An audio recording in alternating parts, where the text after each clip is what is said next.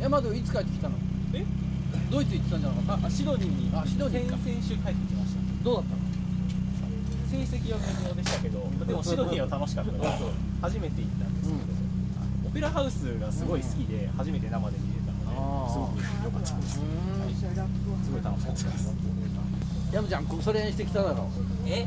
してないですよ。ごそれしようがないじゃないですか。そうですよ。この間ロードスターでつくばに。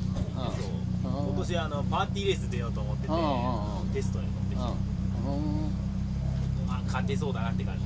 あそう。マジか。そう東は演奏しそうなんか危ねえな雰囲気が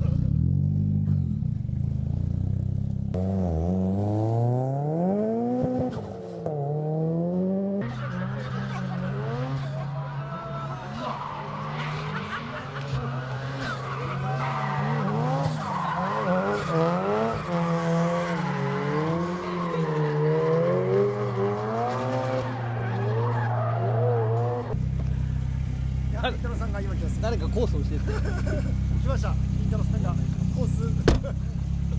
ココードライバーが来ました。コードライバーが。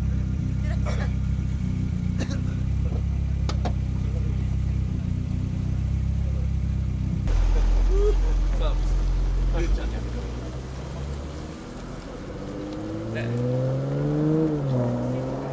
来た来た来た来た。ブ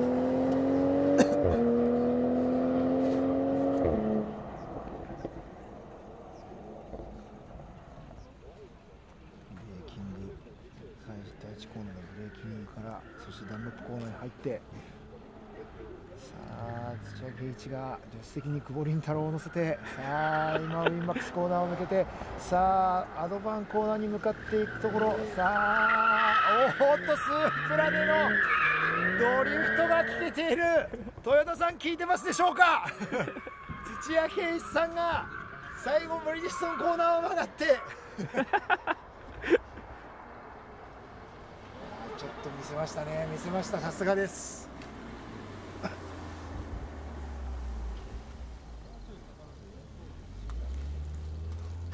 一周走っただけですからね。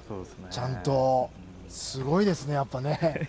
これがプロドライバーです。そして土屋さんぐらいでバッと止まっていただいて。人もあの辺にいる。人はじゃあこの右手前の角ら辺にいます。はい。なのでそこアピールしてください。グッと止まっていただいて、で降りてきて。はい。了解です。お願いします。土屋さんが止まった横に藤野さんと僕とかを合わせて止まる。そうですね。ああいいですね。スープラそんなうまく止まんねえよで土屋さんがもう思い切って行ってもらった横に藤野さんがドリフトでつけて僕グリップでキュッていくんですよす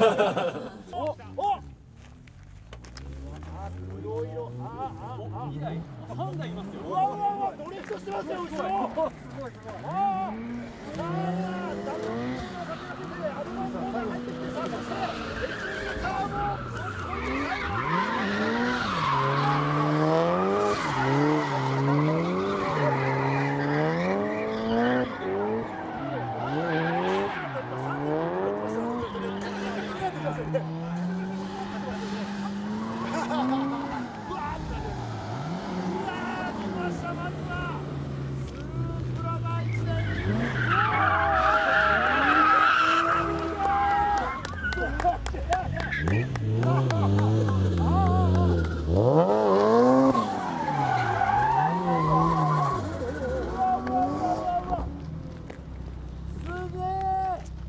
さあ。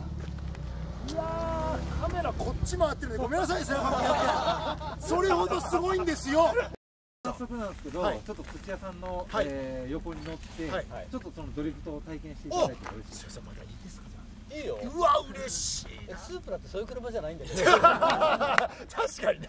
ドリフトするなら86で八六で内谷さんと言ったら八六でございます。はい、じゃあちょっと。はい、ちょっとあの一応テレビ番組のあのヘルメットをあの本当に言い方悪いですけどこういう安い笑いはもういらないんだよ。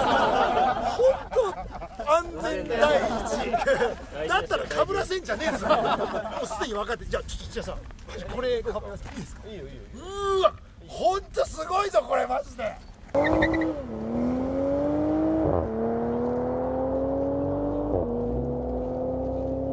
胃の中のものがスープラしそうです。全然面白くねえんだよ。スープラって速く走るために開発されてるからね。で遊ぶための車はトヨタが86、はい。速く走るためのスープラっていう住み分けがある、そうですよね。だからやっぱこう速いし、滑った時にもコントロールできるしっていうのがスープラだよね、あどこで使うんですか？あ YouTube ルーツの YouTube あルーツのそうそう YouTube そうそう。裏裏じゃない。稼ぎに来てるわ。オフな感じをねそうそうそうそう。ねいいってね。そうそう。僕らの習性だからやっぱりカメラだともうさしゃべらなきゃいけないんだけどあーさそうっすよねしかも僕ぐらい17年ぐらいになってくると視野に入った時点で気づいてませんよみたいな喋り方しちゃうから。やらしい。いやらしいやつになっちゃうの。でもなんかそういうのが嫌さでっきもね台本書いてあることずっと読んでましたもんね。やめ燃やしました台本は。燃やしました。台本は燃やしました。したカンペ通り読むなーっていや燃やします燃やします。燃やします燃やします。あそう全部破り捨てる。えせっかく作ってくれた台本を？いや全然読んでますよ。一語一句間違えず。あそういうこと。えこうやって17年やってきました。あなるほど。勉強になりますかいくぐってきました。そういうことか。確かこれ時計しないの？あっち？しないの？いや時計邪魔かな。にあじゃあもうもらうよ。もらうよ すよこれお。これガルフの時に、タグホイヤーがガルフあそうそうそう。提携してそれあ言ってましたね。そう買ったもん僕。あれタグホイヤーってどこだっけ？フランス？スイス？スイス？イス？イゴンやなんかねタグホイヤーの本社の人となんかミーティングをしたんですけど、その人英語だったんですけど、ん。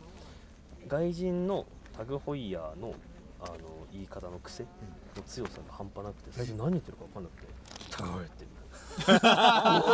ってタタオもうほぼ息タグホイ。ヤー これを絶対もう絶対忘れない。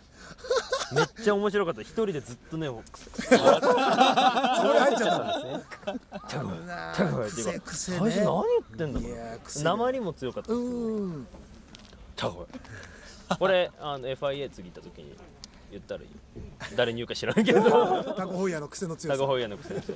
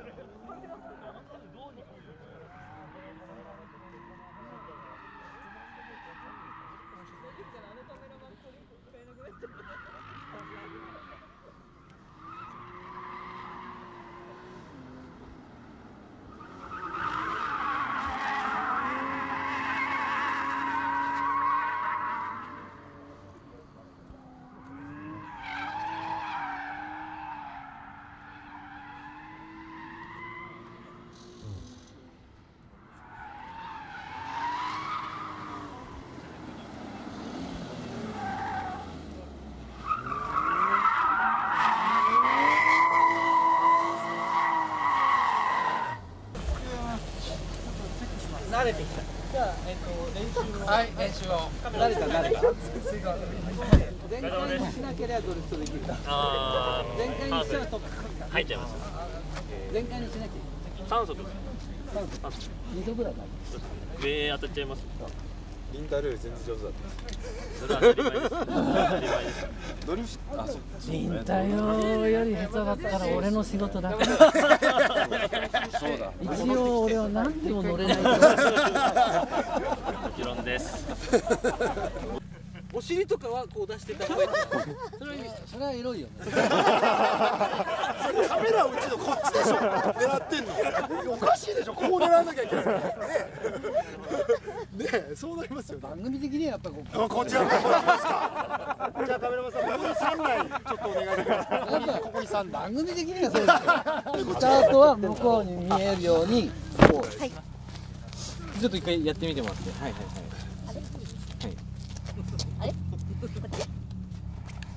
の下を。そうだね。オッケーオッケー。どっち向いてあもうく車に向かってこうやるようはい。そうだよね俺らの方向い。てもおかしい。もんはい、では行きます。じゃあ小庭さんのコメントまで。三、二、どうぞ。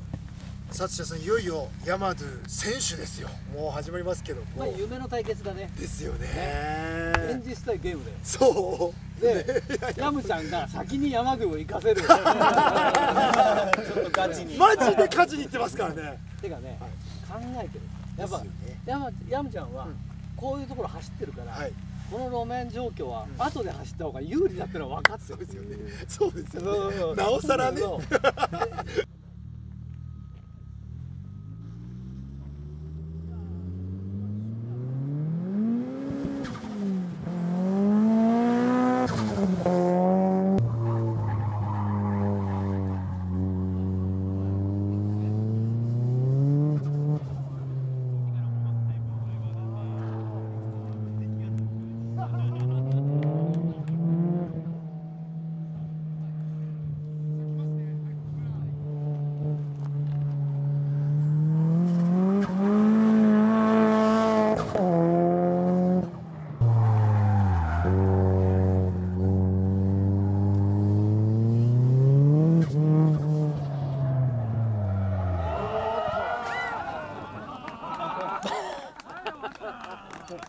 そう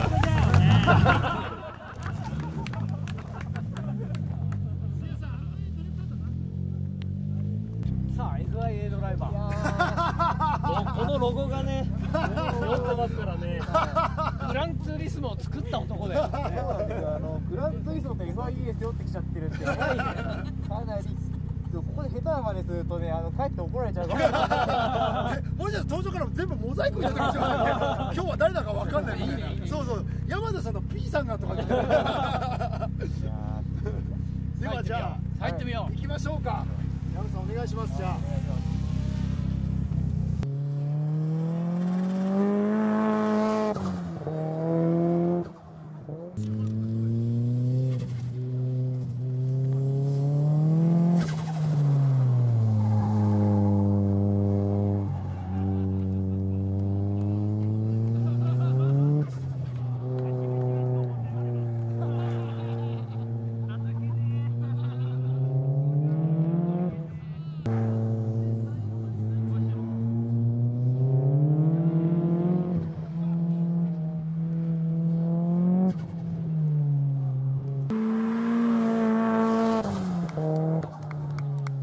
現役のライバーは違うねどうですかもうちょっと言ってでこれわかんないタイムタイム発表してからにしょうこれは。ヤムちゃんが早かったよ。どうする？出なきゃいけない俺が出ない話が変わっちゃう早めにちょっとタイム発表。してからこの選手のタイムはこちら。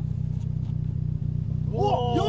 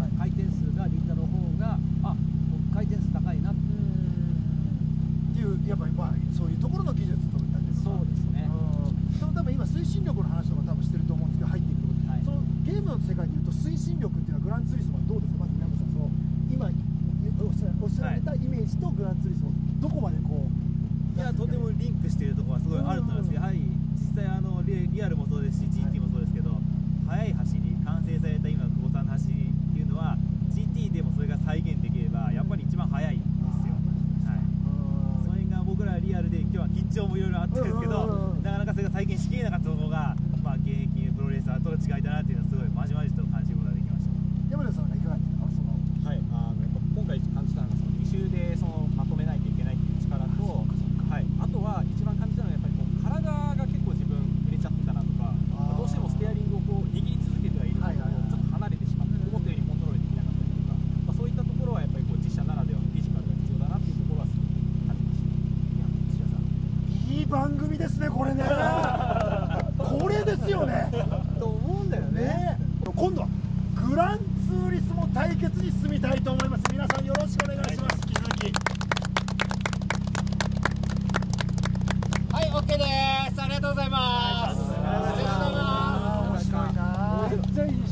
ね、1秒しか変わらない。いやいや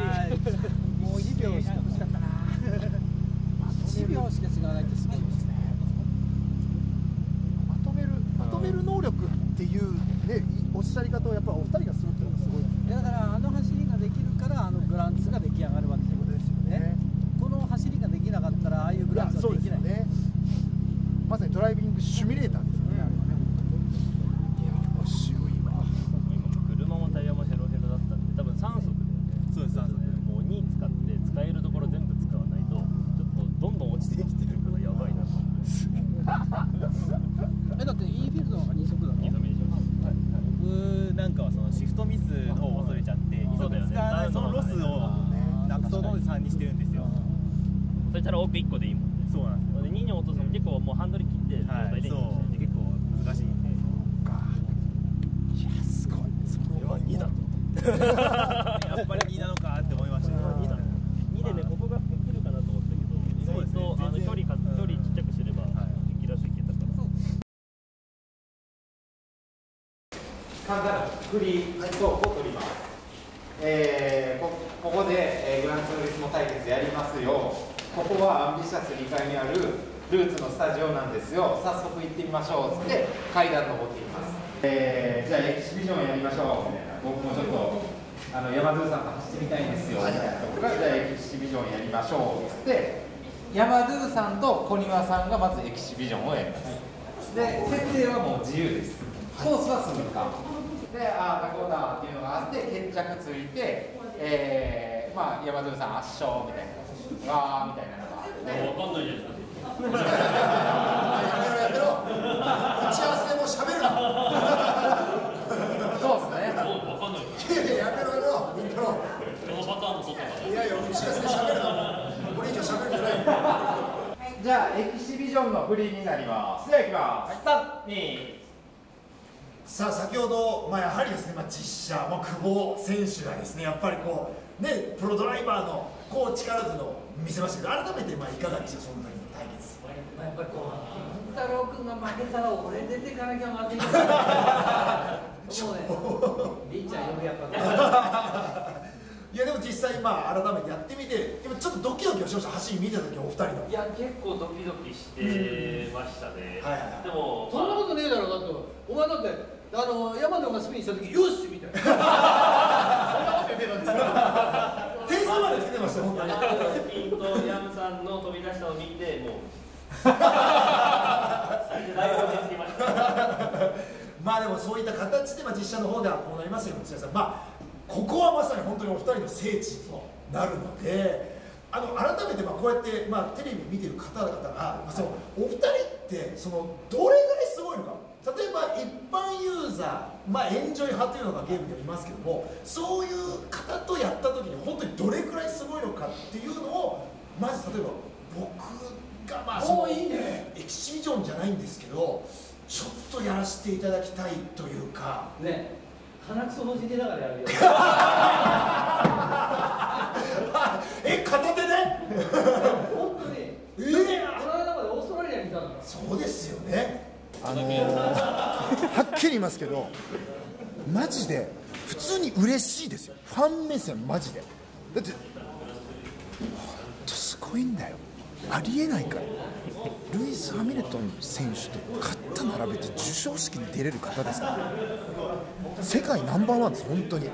それが本当に板橋区の100位ぐらいの人間がいるんですよ。やばいでしょ。何エキシビジョンって？な生意気すぎるでしょみたいな。いなん。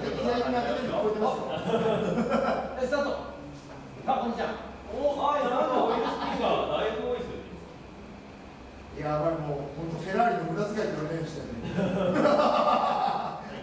早いじゃんお早いじゃんおおお兄ちゃん早いじゃんええいやいや見てますよ全然ほら後ろで後ろでほら来たねうわすごい。山で表情が似合い。見える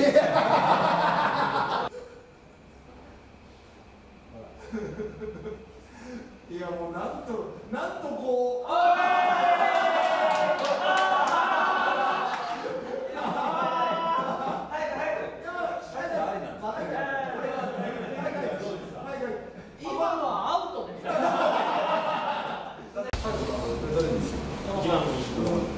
山田ちょっと先ほど実写で悔しい思いをしたので、まあ、こっちはホームグラウンドリアルバーチャルの中では勝ちたいですね。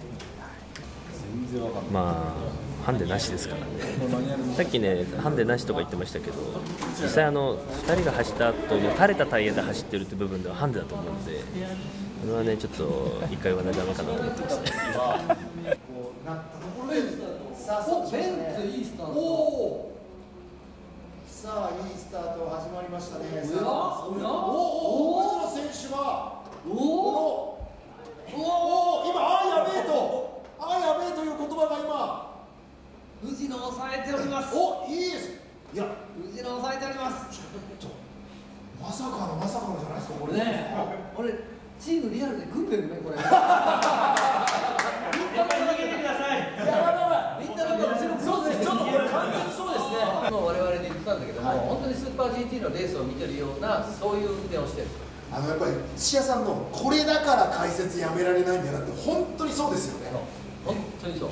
もうだから出てくるポイントがたくさんクロート好みというかもう、ね、普通の実写乗ってるプロドライバーの皆さんが見ててもこの解説がハマるからゲームでもね。あとね縁石の乗り方。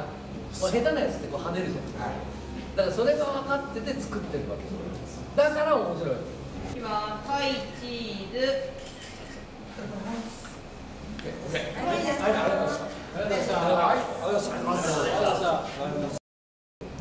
まずもう土屋さん一日やりましたね。本当にすごいこと。やりましたけども、はい。本当にゲーマーがここまで実写で走れるとは思わなかった、いやなんかこう僕もやっぱスーパー GT 携わらせてもらってヤン選手の力って本当にじゃあどこまですごいのかってなかなか疑問視があったと思うんです見てる方とかっていうのは。まあ、だからやっぱりそのオルドネスもそうだし、はい。ヤンマーデンボローもそうだし、はい。やっぱりゲームの世界から、まあ、バーチャルだよね。バーチャルからリアルに来た時に、はい。やっぱり白い目で見られたわけじゃない、うん。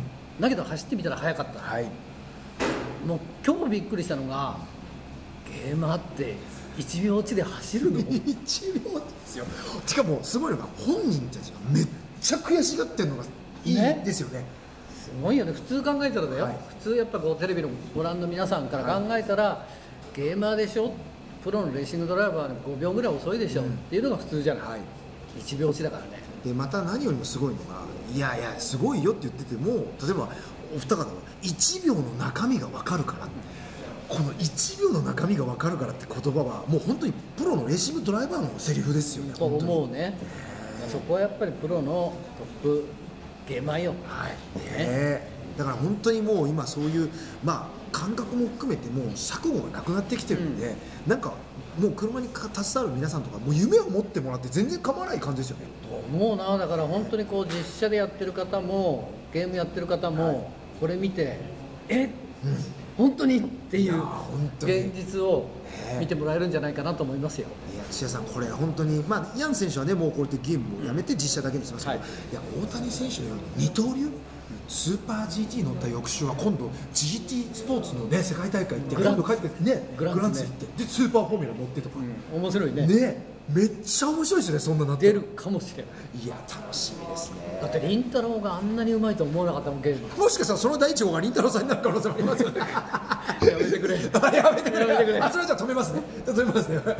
ぜひ皆さんそちら見ていただきたいなと思います、皆さんルーツチャンネルの登録お願いします